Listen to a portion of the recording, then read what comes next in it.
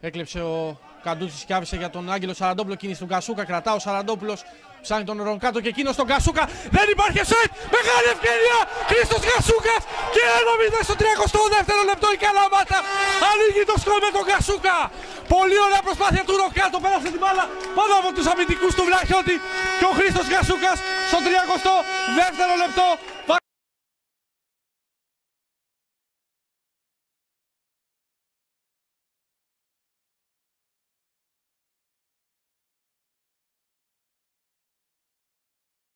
Αλλά στον Κόντι, Κόντι την έφερε στο δεξί.